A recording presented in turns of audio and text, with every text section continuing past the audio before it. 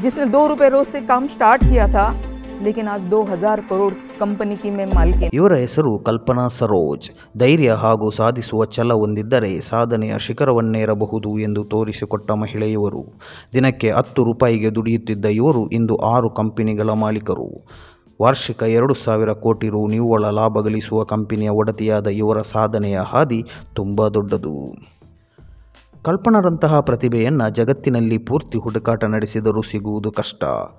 ಏಕೆಂದರೆ ಒಂದು ಕಾಲದಲ್ಲಿ ಒಪ್ಪತ್ತಿನ ಊಟಕ್ಕೂ ಕಷ್ಟಪಟ್ಟ ಯುವತಿ ಇಂದು ಎರಡು ಸಾವಿರ ಕೋಟಿ ರೂಪಾಯಿಯ ಆಸ್ತಿಯ ಒಡತಿಯಾಗುವುದು ಸಾಮಾನ್ಯ ವಿಷಯವಲ್ಲ. ಕಾಮಿನಿ ಟ್ಯೂಬ್ ಎಂಬ ಕಂಪನಿಯ ಒಡತಿಯಷ್ಟೇ ಅಲ್ಲದೆ Kalpana associates, Kalpana builders, Kalpana steels ಇತ್ಯಾದಿ ಇತ್ಯಾದಿ ಹತ್ತು ಹಲವು ಕಂಪನಿಗಳಿವೆ.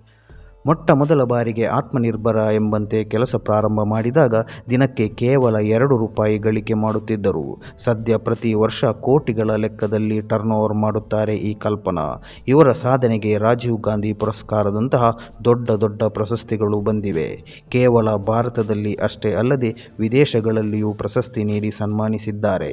ಮಹಾರಾಷ್ಟ್ರದ ವಿದರ್ಭದಲ್ಲಿ ಜನಿಸಿದ ಕಲ್ಪನಾ ಅವರ ಪ್ರದೇಶದಲ್ಲಿ ನೀರಿಗೂ ಬರವಿತ್ತು ಅಷ್ಟೇ ಅಲ್ಲದೆ ಅವರ ಮನೆಯಲ್ಲಿ ಸಾಕಷ್ಟು ಬಡತನವಿತ್ತು. ಹೀಗಾಗಿ ಕಲ್ಪನಾ ಅವರ ನಿತ್ಯದ ಕೆಲಸ ಬೆರಣಿ ತಟ್ಟುವುದೇ ಆಗಿತ್ತು. ಇದರೊಂದಿಗೆ ಕಲ್ಪನರವರನ್ನು ಅವರ ಹನ್ನೆರಡನೇ ವಯಸ್ಸಿನಲ್ಲಿ ಅವರಿಗಿಂತ ಹನ್ನೆರಡು ವರ್ಷ ದೊಡ್ಡವರನೊಂದಿಗೆ ವಿವಾಹ ಮಾಡಿಕೊಟ್ಟಿದ್ದರು. ಮದುವೆಯಾದ ನಂತರ ಅವರು ಅತ್ತೆಯ ಮನೆಗೆ ಮುಂಬೈಗೆ ಬಂದರು. ಅಲ್ಲಿಯೂ ಸಹ ಇವರು ಮನೆಯ ಎಲ್ಲ ಕೆಲಸಗಳನ್ನು ಮಾಡಬೇಕಾಗಿತ್ತು. ಗಂಡನ ಮನೆಯಲ್ಲಿ ಕಾಟ ಅತಿಯಾಯಿತು. ಒಂದು ದಿನ ಅಲ್ಲಿಂದ ತಪ್ಪಿಸಿಕೊಂಡು ಬಂದು ತವರು ಮನೆ ಸೇರಿಕೊಂಡರು. ಆದರೆ ಅಲ್ಲಿ ಅವರಿಗಷ್ಟೇ ಅಲ್ಲದೆ ಅವರ ಕುಟುಂಬಕ್ಕೂ ಸಹ ತೊಂದರೆ ಶುರುವಾಯಿತು. ಇದಕ್ಕೆ ಕಾರಣ ಅಂದಿನ ಆ ಪದ್ಧತಿ.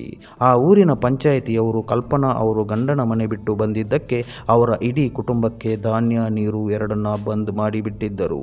ಈ ಎಲ್ಲ ಕಷ್ಟಗಳನ್ನು ತಾಳಲಾರದೆ ಅವರು ತಮ್ಮ ಜೀವನವನ್ನೇ ಮುಗಿಸಿಬಿಡಬೇಕೆಂಬ ತೀರ್ಮಾನಕ್ಕೆ ಬಂದಿದ್ದರು.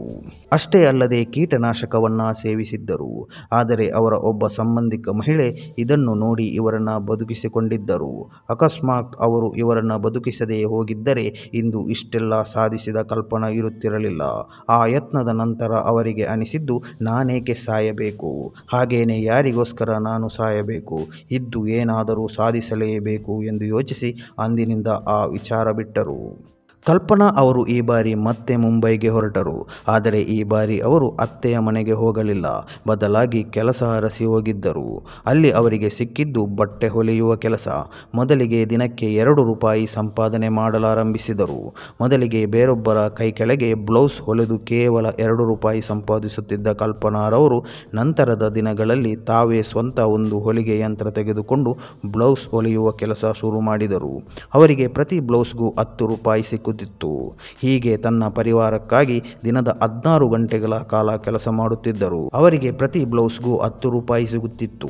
ಹೀಗೆ ತನ್ನ ಪರಿವಾರಕ್ಕಾಗಿ ದಿನದ ಹದಿನಾರು ಗಂಟೆಗಳ ಕಾಲ ಕೆಲಸ ಮಾಡುತ್ತಿದ್ದರು ಕಲ್ಪನಾ. ಆದರೆ ಇದ್ದಕ್ಕಿದ್ದಂತೆ ಅವರ ಸಹೋದರಿಯ ಆರೋಗ್ಯದಲ್ಲಿ ಏರುಪೇರಾಗಿ ಮನೆಯ ಬಡತನದ ಕಾರಣದಿಂದಾಗಿ ಅವರಿಗೆ ಚಿಕಿತ್ಸೆ ಕೊಡಿಸಲಾಗದೆ ತೀರಿ ಹೋದರು. ಈ ಘಟನೆಯಿಂದ ಕಲ್ಪನರವರು ಸಾಕಷ್ಟು ಘಾಸಿಗೊಂಡಿದ್ದರು. ಇದರಿಂದ ತಮಗೆ ತಾವೇ ಸಮಾಧಾನ ಮಾಡಿಕೊಂಡು ಮೇಲೆದ್ದ ಕಲ್ಪನಾರವರು ಹೊಲಿಗೆಯ ಕೆಲಸದಲ್ಲಿ ಸಾಕಷ್ಟು ಲಾಭವಿದೆ ಎಂಬುದನ್ನು ಅರಿತು ತಾವು ದಲಿತರಾಗಿದ್ದರಿಂದ ದಲಿತರಿಗೆ ಕೊಡಮಾಡುತ್ತಿದ್ದ ಐವತ್ತು ಸಾವಿರ ರೂಪಾಯಿ ಬಿಸ್ನೆಸ್ ಲೋನ್ ತೆಗೆದುಕೊಂಡು ಅದರಿಂದ ಒಂದು ಹೊಲಿಗೆ ಅಂಗಡಿಯನ್ನು ಹಾಕಿಕೊಂಡರು.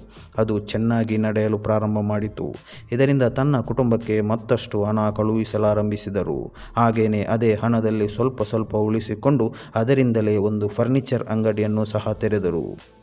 ಉದ್ಯಮಕ್ಕೆ ಸರ್ಕಾರ ನೀಡುತ್ತಿದ್ದ ಸವಲತ್ತುಗಳನ್ನು ಪಡೆದುಕೊಂಡು ಅದರ ಮೂಲಕವೇ ಬೇರೆ ಬೇರೆ ಉದ್ಯಮವನ್ನು ಮಾಡಲು ಪ್ರಾರಂಭಿಸಿದರು. ಬಿಸಿನೆಸ್ ಪ್ರಾರಂಭವಾದ ಮೇಲೆ ಇವರಿಗೆ ಒಬ್ಬ ಸಮಾನ ಮನಸ್ಕ ಯುವಕನೊಂದಿಗೆ ಮದುವೆ ಕೂಡ ಆಯಿತು. ಅವರಿಂದ ಎರಡು ಮಕ್ಕಳು ಕೂಡ ಆದವು. ಆದರೆ ದೇವರ ಇಚ್ಛೆ ಬೇರೆಯೇ ಇತ್ತು ಎನಿಸುತ್ತದೆ. ಇವರ ಪತಿ ಬಹಳ ದಿನಗಳ ಕಾಲ ಬದುಕಲಿಲ್ಲ. ತೀರಿ ಹೋದರು. ಮುಂಬಯಿಯಂತಹ ಮಹಾನಗರದಲ್ಲಿ ಸಾಕಷ್ಟು ಜನ ಬಿಸ್ನೆಸ್ ಮಾಡುವವರು ಇರುತ್ತಾರೆ. ಆದರೆ ಕಲ್ಪನಾರವರು ತಮ್ಮ ಕೆಲಸದ ಕಾರಣದಿಂದಾಗಿಯೇ ಸಾಕಷ್ಟು ಹೆಸರು ಮಾಡಿದರು. ಕಾಮಿನಿ ಟ್ಯೂಬ್ ಎಂಬ ಮೆಟಲ್ ಇಂಜಿನಿಯರಿಂಗ್ ಕಂಪನಿಯು ಸುಪ್ರೀಂ ಕೋರ್ಟಿನಿಂದ ವರ್ಕರ್ಸ್ ಯೂನಿಯನ್ಗೆ ಮಾಲೀಕತ್ವವನ್ನು ಪಡೆದ ಮೊದಲ ಕಂಪನಿ. ಈ ಕಂಪನಿಯು ಭಾರೀ ಸಾಲದ ಸುಳಿಯಲ್ಲಿ ಸಿಲುಕಿತ್ತು. ಈ ಕಂಪನಿಯ ಅಧ್ಯಕ್ಷರಾಗುವ ಅವಕಾಶ ಕಲ್ಪನಾ ಸರೋಜ್ ಅವರಿಗೆ ಉಳಿದು ಬಂತು. ಇದನ್ನು ಸಮರ್ಥವಾಗಿ ನಿರ್ವಹಿಸಿದ ಕಲ್ಪನಾ ಅವರು ಕಂಪನಿಯು ನಷ್ಟದಿಂದ ಲಾಭ ಗಳಿಸುವವರೆಗೆ ತಂದು ನಿಲ್ಲಿಸಿದರು. ಇವರ ದೀರ್ಘಾವಧಿ ಕಾರ್ಯತಂತ್ರವು ಕಂಪನಿಯನ್ನು ಕಟ್ಟುವಲ್ಲಿ ಫಲ ನೀಡಿತು. ಒಂದು ಸಾವಿರ ಕೋಟಿ ನಿವ್ವಳ ಲಾಭ ಗಳಿಸುವಂತೆ ನೋಡಿಕೊಂಡದ್ದು ಇವರ ದೊಡ್ಡ ಸಾಧನೆ. ಈ ಸಾಧನೆಗೆ ಅವರಿಗೆ ಭಾರತ ಸರ್ಕಾರದಿಂದ ಪದ್ಮಶ್ರೀಯ ಗೌರವವು ಒಲಿದು ಬಂತು.